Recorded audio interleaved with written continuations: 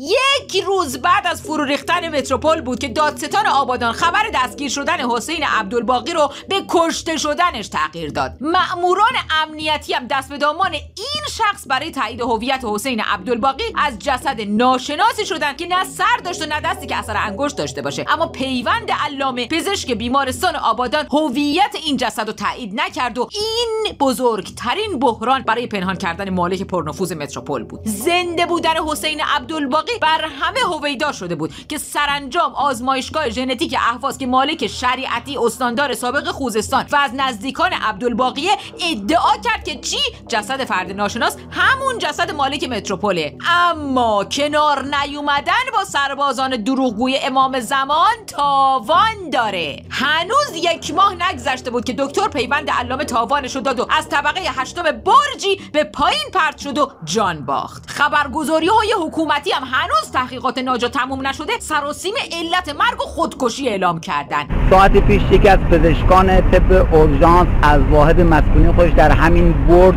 اقدام به خودکشی کرد و در این منطقه سقوط کرد.